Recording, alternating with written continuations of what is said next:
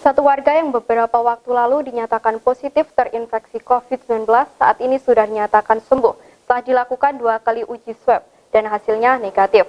Pemulangan pasien pun dilakukan dengan proses seremonial oleh Satgas COVID-19. Satu pasien positif COVID-19 di Pacitan dinyatakan sembuh. Hal itu setelah uji swab kedua hasilnya negatif.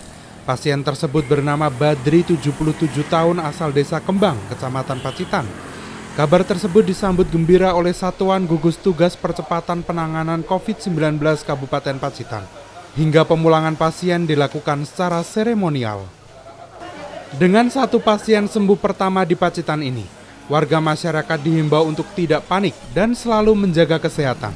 Terbukti, jika patuh dengan himbauan pemerintah sesuai dengan protokol kesehatan, akan cepat mendapatkan kesembuhan. Satgas juga memberikan apresiasi, utamanya petugas medis yang telah bekerja berbuat maksimal bagi sesama hingga satu pasien COVID-19 dinyatakan sembuh dan diperbolehkan pulang.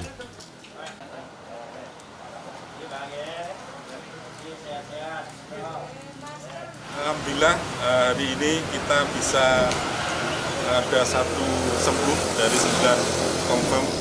Dan tentunya kami uh, mengucapkan selamat pada yang bersangkutan dan tetap jaga protokol kesehatan. Dan tentunya saya atas nama pemerintah daerah mengapresiasi para dokter dan tenaga medis yang ada di rumah sakit yang telah merawat dan melayani pasien yang confirm sehingga menjadi sembuh.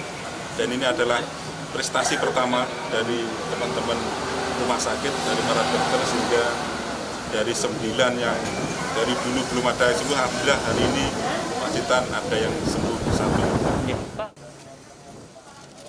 Meski kasus positif COVID-19 di Pacitan berkurang, namun masyarakat diharapkan tidak lengah dan tetap mematuhi protokol kesehatan.